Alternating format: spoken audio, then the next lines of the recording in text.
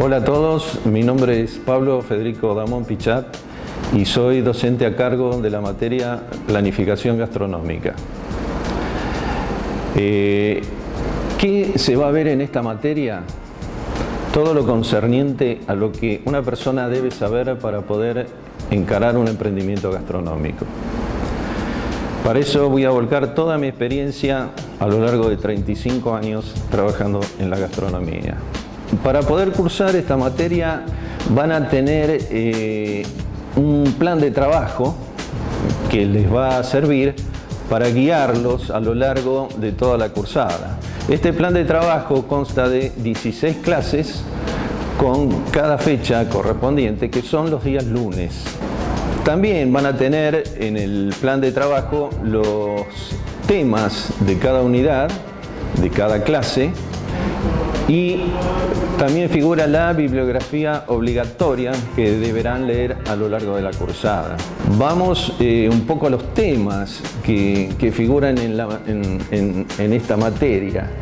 Eh, como les decía, eh, tienen que saber todo lo que es necesario para poder comenzar un emprendimiento gastronómico. desde la ubicación del local que ustedes han elegido, eh, un estudio de mercado, eh, lo que se necesita como inversión inicial, eh, equipamiento, todo lo que es el desarrollo del menú, el personal también necesario, las categorías, y después ir un poco también a la parte administrativa, todo lo que es relacionado con los costos, la mano de obra, en fin, ya lo van a ver ustedes cuando lean el, el, plan de trabajo. En esta materia, ustedes a medida que vayan leyendo la carpeta de trabajo, van a ver que hay ciertos cuestionarios al finalizar, sobre todo eh, cada unidad, que lo autoayudarán a ver si eh, están aprendiendo lo que están cursando. Estos cuestionarios no son obligatorios, pero son de mucha utilidad.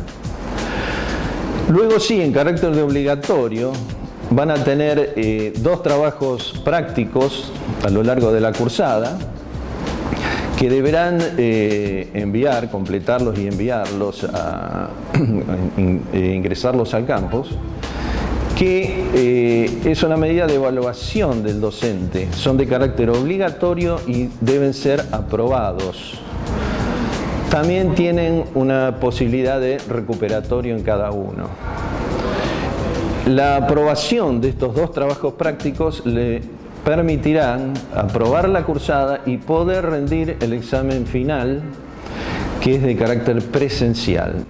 A lo largo de la cursada se van a encontrar con foros, con ciertas consignas, que también ustedes deben participar en estos foros y eh, también se crea un eh, debate entre ustedes.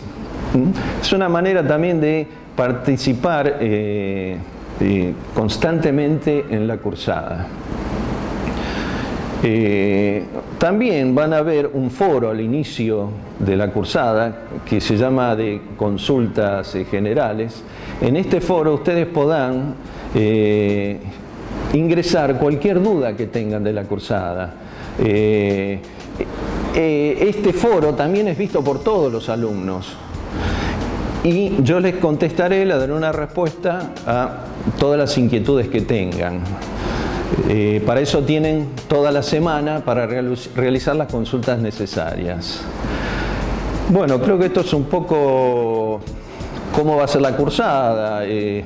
se trata de hacerlo lo más amena posible, de de que todos participemos y bueno, creo que nada más. Este, les deseo una buena cursada, eh, que les resulte interesante, yo creo que lo es.